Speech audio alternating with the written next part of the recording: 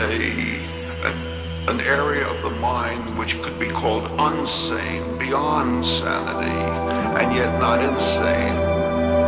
Unsane, beyond sanity, and yet not insane. Think of a circle with a fine split in it.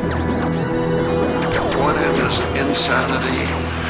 You go around the circle to sanity, and on the other end of the circle, close to insanity, but not insanity, is unsanity.